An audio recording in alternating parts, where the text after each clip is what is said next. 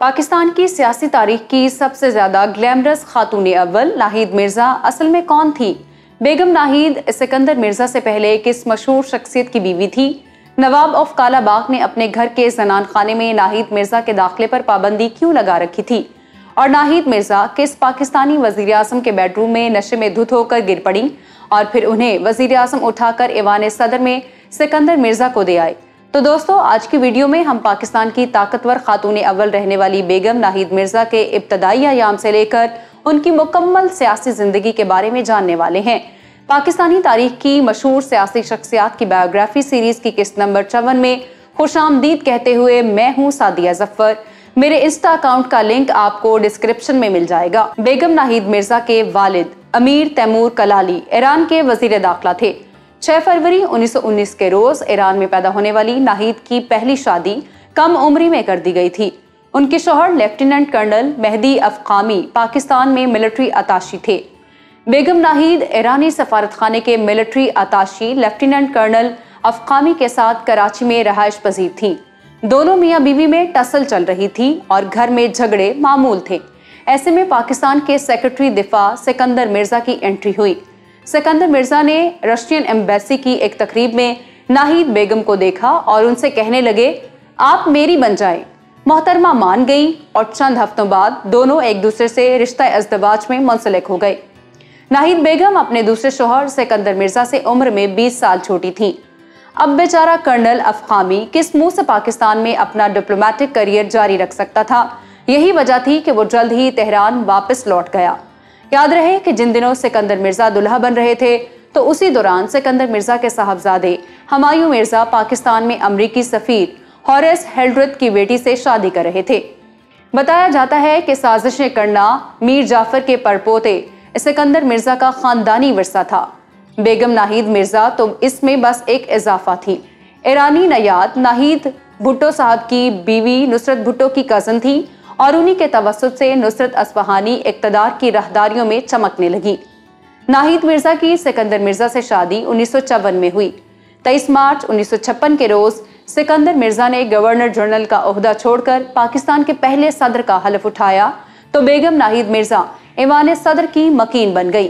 खातून अव्वल बेगम नाहिद मिर्ज़ा ने अपने शोहर के हमरा ईरान, तुर्की स्पेन सोवियत यूनियन और पुर्तगाल समेत दुनिया के कई ममालिक के सरकारी दौरे किए। शुरू शुरू में नाहिद मिर्ज़ा मगरबी लिबास से बेतन करती थी, लेकिन खातून अव्वल बनने के बाद सरकारी तकरीबात में साड़ी बांधकर शरीक होती, ताकि उनकी नंगी टांगे हदफ तनकीद ना बन जाएँ और शोहर के लिए कोई मसला खड़ा ना हो जाए। मीम बे खालिद अपनी किताब इवान सदर में 16 साल में लिखते हैं ईवान सदर में सिकंदर मिर्ज़ा सियासत की बसात पर अपने पसंद के मोहरे सजाने में मसरूफ थे। तो बेगम नाहिद मिर्ज़ा ने घर का चार्ज संभाल लिया। सबसे पहले कमरों की आरइश और जिबाइश पर तवज्जो दी। फर्नीचर, पर्दे, कालीन और फानूस सब बदल गए। कमरों को मुरतब करने के बाद गार्डन की बारी आई। बेगम नाहिद मिर्ज़ा ने अपने शोहर पर कई कदगने लगा रखी थी। मिसाल के तौर पर शाम के वक्त वो सिर्फ़ दो पैग विस्की लगा सकते थे। तीसरे पैग की इजाज़त ना थी। तलब करने पर इनकार हो जाता। अलबत्ता वो शोहर से सिगरेट ना छुड़वा सकी। सिकंदर मिर्ज़ा चेन स्मोकर थे और गुफ्तगु के दौरान भी वो सिगरेट को होंठों से जुदा ना करते हती के राख झाड़ने की भी जहमत गवारा ना करते थे। गुफ्तगु करते हुए सिगरेट थरकती तो राख खुद ब खुद गिर जाती। नाहिद खानम का जोके लतीफ भद्दी चीज़ों को पसंद ना करता था, इसलिए उन्हें चील गिद और कवों से नफरत थी। मालियों को हुक्म था कि इन परिंदों को किसी दीवार या दरख्त पर ना बैठने दे।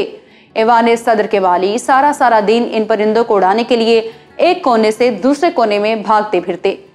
बेगम नाहिद मिर्ज़ा ने लॉन के इस हिस्से में, जो इनकी ख्वाबगाह के करीब था, एक खूबसूरत स्विमिंग पूल बनवाया, जो उस वक्त कराची में अपनी नौयत का वाहिद स्विमिंग पूल था। इससे लुत्फ अंदोज होने के लिए नाहिद मिर्ज़ा गैर मुल्की और पाकिस्तानी खातन को मदू करती।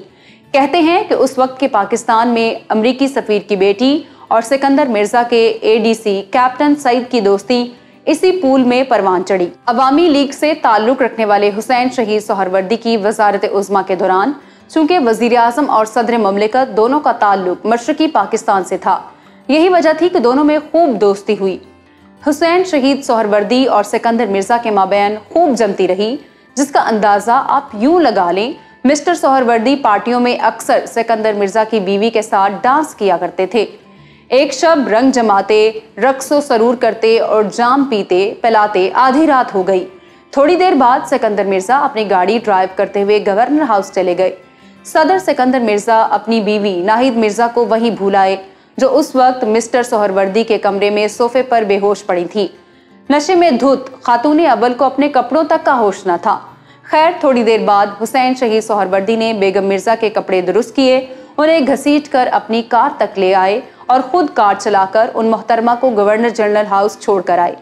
एक मौके पर नवाब ऑफ़ कालाबाग ने बेगम नाहिद मिर्ज़ा को अपने घर के जनान खाने में दाखिल होने से ये कहते हुए रोका था कि हमारी औरतों का पर्दा है, जिस पर सिकंदर मिर्ज़ा की अहलिया बोली, मैं भी औरत हूँ तो फिर नवाब साहब ने कहा, बीबी, आप जैसी औरतों से भी पर्दा है। उन दिनों ये अफवाह गर्म थी कि सेठ आबिद हुसैन के पार्टनर और मशहूर स्मगलर कासिम ने बेगम नाहिद मिर्ज़ा को एक बड़ा कीमती हार दिया, लेकिन इसकी तस्दीक ना हो सकी। 27 और 28 अक्टूबर उन्नीस सौ अट्ठावन की शब अयूब खान के ऑर्डर्स पर जनरल आज़म जनरल बरकी और जनरल खालिद सिकंदर मिर्ज़ा के घर पहुँच गए और किसी की परवाह किए बगैर वो सिकंदर मिर्ज़ा के बेडरूम में घुस आए। सदर सिकंदर स्लीपिंग गाउन पहने सोए हुए थे कि बूटों की आवाज़ से उनकी आँख खुली। उन्हें पहले से टाइप शुदा इस्तीफे का लेटर थमा दिया गया और यूँ गन पॉइंट पर उनसे दस्तखत भी करवा लिए गए। सिकंदर मिर्ज़ा को कहा गया कि अपना सामान बाँध लें, आपको इसी वक्त ईवान सदर से जाना पड़ेगा। सिकंदर मिर्ज़ा तो खामोश थे, लेकिन उनकी अहलिया नाहिद मिर्ज़ा फौजी अफसरान से मुखातिब हुई। जर्नल्स, हम ईवान सदर से चले तो जाएँगे, लेकिन हमारी बिल्लियों का क्या होगा? एक दूसरी रिवायत के मुताबिक, जब तीनों जर्नल्स सिकंदर मिर्ज़ा के बेडरूम में उनका इस्तीफा लेने गए तो वो बगैर किसी मजामत के आमादा हो गए। लेकिन बेगम मिर्ज़ा चीख चीख कर बोलने लगी। उनकी चीखने की आवाज़ें ईवान सदर के मुलाजमीन ने सुनी। फिर एक जोरदार थप्पड़ की चटाख सुनाई दी गई, जिसके बाद मुकम्मल सनाटा हो गया। अल्ताफ गोहर अपनी किताब अयूब खान में लिखते हैं कि ब्रिगेडियर नवाजिश ने सिकंदर मिर्ज़ा के बेडरूम के दरवाजे पर दस्तक दी और इजाज़त मिलने पर अंदर दाखिल हुआ। सिकंदर मिर्ज़ा स्लीपिंग गाउन में कमरे में इस्तराबी कैफियत में चल रहे थे। बेगम नाहिद मिर्ज़ा अपना सामान बाँध रही थी। ब्रिगेडियर नवाजिश को देखकर बेगम नाहिद मिर्ज़ा बोली, क्या हम इसके हकदार हैं जो हमारे साथ हो रहा है? सिकंदर मिर्ज़ा और नाहिद मिर्ज़ा को माड़ीपुर एयरपोर्ट से कोयटा पहुँचा दिया गया। एक हफ़्ते बाद मियाँ बीवी को वापस कराची लाया गया और लंदन रवाना कर दिया गया। जब दोनों को लंदन जिलावतन किया जा रहा था तो बेगम नाहिद मिर्ज़ा बहुत शिकस्तगी और अफसरदगी की हालत में थी। जलावतनी के बाद सबक सदर पाकिस्तान लंदन के एक होटल में जॉब भी करते रहे और फिर गुजरते वक्त के साथ साथ दोनों मियाँ बीवी की मकबूलियत में कमी होती गई। सिकंदर मिर्ज़ा 13 नवंबर उन्नीस सौ उनहत्तर को अपनी सत्तरवीं सालगिरह के रोज लंदन ही में इंतकाल कर गए।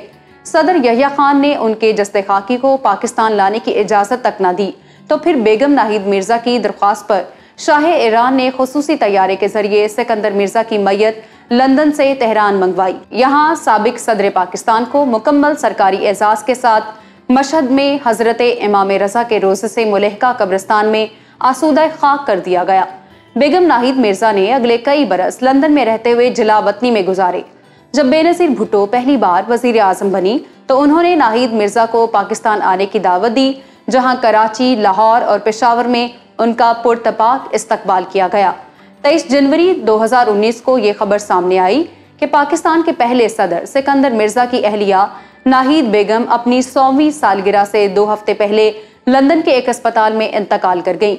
याद रहे कि नाहिद मिर्ज़ा पेंशन एक्ट 1974 के तहत पाकिस्तान की सबसे पुरानी पेंशनर थी। याद रहे कि सदर सिकंदर मिर्ज़ा की पहली बीवी से उनके बेटे हमायूं मिर्ज़ा ने अपनी किताब फ्रॉम पलासी टू पाकिस्तान में अपने खानदान का अहवाल कलम बंद किया है। ये किताब मार्केट में दस्तियाब है। मैं उम्मीद करती हूँ आज की वीडियो आपको पसंद आई होगी। अगर आप जुल्फ़िकार अली भुट्टो की ज़िंदगी के तीस दिलचस्प हकायक जानना चाहते हैं तो यहाँ ऊपर क्लिक करें। सदर सिकंदर मिर्ज़ा की मुकम्मल बायोग्राफी के लिए यहाँ नीचे और जनरल जयाउल हक के फैक्ट्स के लिए इधर क्लिक करें। वीडियो को लाइक करें शेयर करें इलेक्शन बॉक्स को सब्सक्राइब कर लें और हमारी वीडियोस को देखते रहिए। अल्लाह हाफिज नासिर।